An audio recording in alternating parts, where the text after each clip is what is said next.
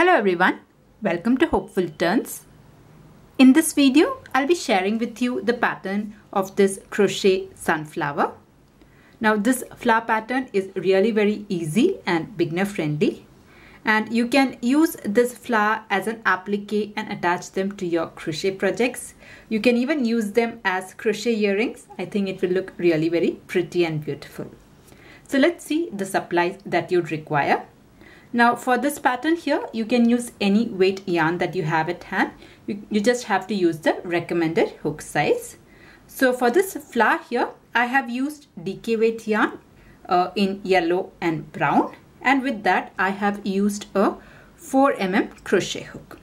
Now apart from that you would require a pair of scissors and a yarn needle to weave in the ends.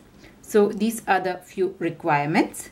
Now if you're looking for some other crochet flower patterns, I will put a link in the description box for the flower patterns that I have done so far. So it is in a playlist. If you're interested, you can check that up as well.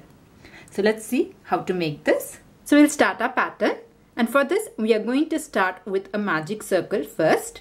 So to make a magic circle you take your yarn and then loop it around your finger like an X. Once you have that you can take this loop out. Now take your hook, pass your hook through this loop here and pull your working yarn through. Alright. So this here is your magic circle. Now if you want some more help with the magic circle you can click on the link that is coming here I have done a detailed tutorial on how to make a magic circle. So here I've got a magic circle. After this I'm going to make two chain stitch. One. Now for round one we are going to put 16 double crochet into the circle here. So we'll put our double crochets. So to make a double crochet you yarn over first. Insert your hook into the center of the circle and then pull up a loop. You have three loops on your hook now yarn over pull to the first two loop then yarn over pull to the next two loop so this here is your first double crochet like this you have to make a total of 16 so this is one. We'll make a second one. So yarn over. Insert your hook. Pull up a loop. You have three loops. Yarn over pull to the first two. Yarn over pull to the next two. So this is my second double crochet. Like this i'm going to make a total of 16 double crochet for round 1. Now if you want help with double crochets also I have a full uh, beginner tutorial on how to do the basic stitches. I'll put the playlist link in the description box. If you need help you can check that out. So anyway for round 1 I'll first finish 16 double crochet. So the round 1 you are starting with chain 2 and then making 16 double crochet. So I'll finish this and I'll meet you at the end of round 1. So here I have finished making 16 double crochet. Now if you have any doubt you can always count back. At least when you are a beginner you should always count your stitches and confirm before moving forward. So I'll just count. 1, 2, 3, 4, 5, 6, 7, 8, 9, 10, 11, 12, 13, 14, 15, 16 and then the starting chain 2. So here I've got my 16 double crochet. Once you have that, go into the first double crochet, not your chain 2, but your first double crochet, this one here, and then slip stitch to join, like this. So this finishes our round 1. At this point, you can cut your yarn here. So leave a little bit of a tail end so as to weave, in, weave it in and then cut it here. Okay, so this finishes our round 1. Now this since this is a magic circle you can just pull on this end and this circle will close. I'm not closing it completely at this point. Once the flower is completely done we can close it. Otherwise the stitches might get a little bit tighter when you're doing your round 2 anyway we'll start our round 2 so I'll take my yellow color yarn. And I'm going to uh, join this at any other point other than where I have cut it because if you see there are already two strands. So if you are going to join here again it will become very bulky. So I like to join it at any other point. So you can use any stitch and then join with a slip stitch. So just attach your yellow color yarn here. And I'll just make chain one so as to make sure that it is properly attached. Okay? Now we'll start. So this is the point where I have slip stitched. It we'll work in the next stitch. So for the next stitch we are starting with a double crochet so for double crochet yarn over. Insert your hook pull up a loop. You have three loops yarn over pull to the first two yarn over pull to the next two. So this is a double crochet. And here after you make a double crochet make a triple crochet. So for a triple crochet you have to yarn over two times. One two. Go into the same stitch where you made your double crochet. So into the same stitch I'll go pull up a loop you have four loops yarn over pull to the first two yarn over pull to the next two yarn over pull to the last two so this is a triple crochet. So we have made a double crochet, a triple crochet.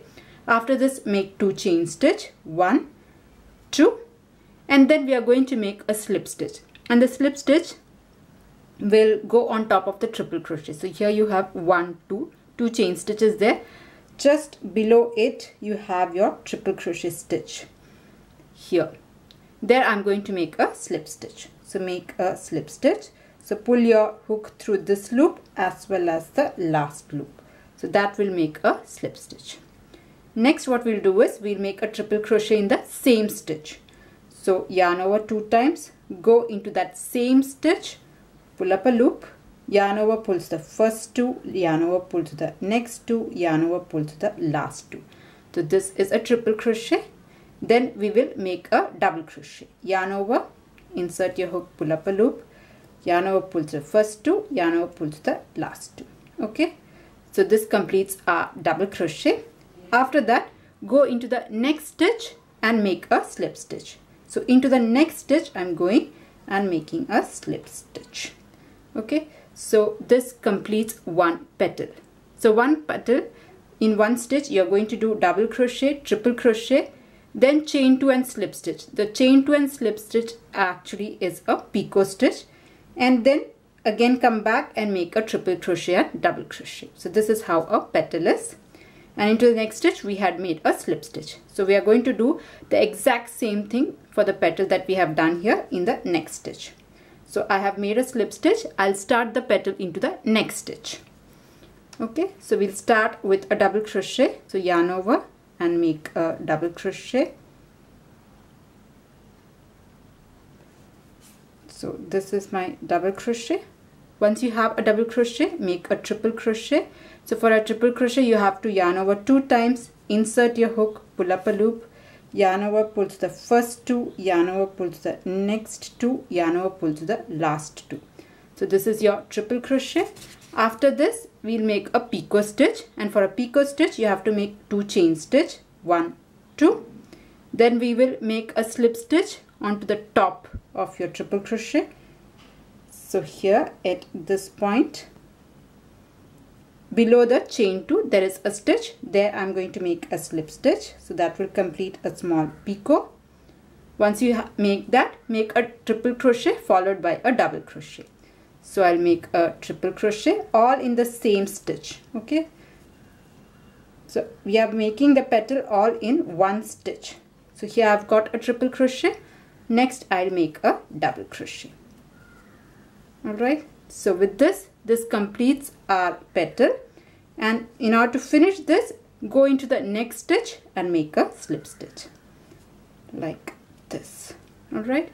So this completes our second petal as well. So like this you can complete it till you reach the end. So I'll just start the next petal with you. So this slip stitch is done. We will find the next stitch and make the petal pattern. So we'll start with a double crochet, then a triple crochet, then picot stitch, then again a triple crochet and then a double crochet. So I'll just finish that. So here I have finished making the petals and I have a total of 8 petals.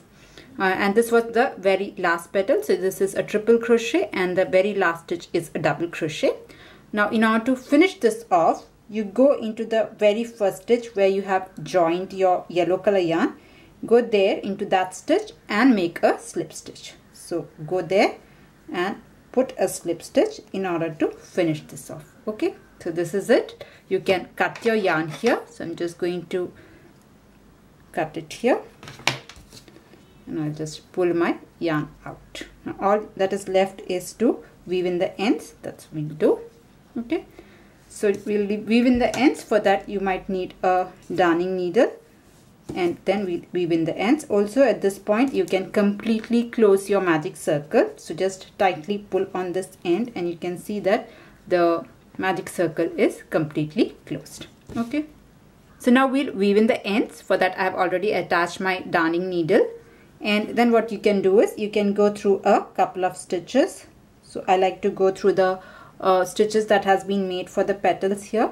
So you can go to go through two to three petals and if you want you can come back. Now if you are planning to use this in any other projects to stitch this in I'll say do not cut the yarn completely. You can use the same yarn to attach your work. I think two times is more than enough. If you are not very confident you can go through a couple of stitches in the reverse direction as well. Alright so with that this part is done. You can cut your yarn or just keep it there like that you can just weave in all the remaining ends. I'll just cut everything and then show you. So here I have weaved in all the loose ends and our flower is done. So yeah that was the tutorial on how to do this crochet sunflower. I hope the tutorial was useful and helpful for you now, if you're looking for other uh, patterns, especially flower patterns, please do check the description box. I have put a playlist of all the different patterns, uh, flower patterns I have done on this channel. If you're interested, you can just take a look on that as well. Now, if you found this useful, uh, please do not forget to press on the like button. And if you're new to my channel, please do consider subscribing. See you in the next video. Until then, bye-bye. Thank you for watching.